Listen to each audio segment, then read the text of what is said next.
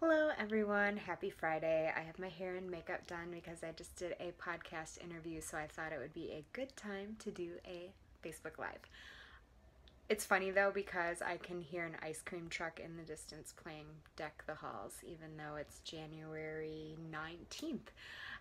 anyway, I wanted to share with you why your BS affirmations aren't working. Um, if you know me already, you know that I am passionate about personal development and mindset work, the power of positive thinking. I'm even writing a book about positivity and happiness, so you might be a little bit surprised to hear me talking about BS affirmations. The reason why I am, however, is because sometimes we lie to ourselves for the longest time, even me, I can probably look back a couple months ago into my journal and see where I've written, I am a six figure business owner. Guess what?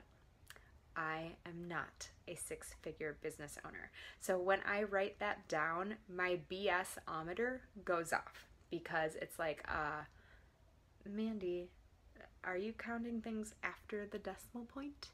And my brain knows that I'm not telling the truth. Just like if you are trying to lose weight and you tell yourself, I am fit, I am skinny, whatever it is that you're trying to do, if it's not the case right now, your brain knows you're lying.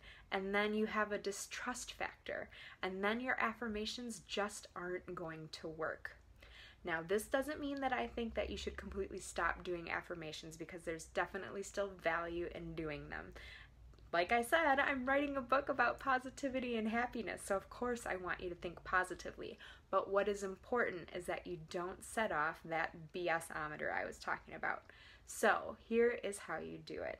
Instead of telling yourself, like for example, with me, I am a six figure business owner, with all the decimals being where they're supposed to be, I can tell myself that my numbers are going up. I can tell myself that I am working consistently every day to become the person who is a six figure business owner. I can tell myself positive things that I'm doing that are true that are bringing me closer to being wherever I want to be. In the weight loss example that I gave, you could say something like, I am working hard every day to make good food choices, or I am working out every day and feel a little stronger, or something again that is true and still leading you on the right path, but that isn't going to make your brain feel a disconnect and call you out on your lying. All right, so that is just something quick that I have for you today. Thank you so much for watching. I appreciate you. And stay tuned because I'm going to pop this into an accountability post that I'm going to do this weekend, sharing how my January and first quarter and 2018 resolutions are going so far. Thank you so much for watching. Have a good weekend. Bye. Oh, and comment. Let me know what affirmations you have because I'd be really curious to hear what they are. Okay, now bye.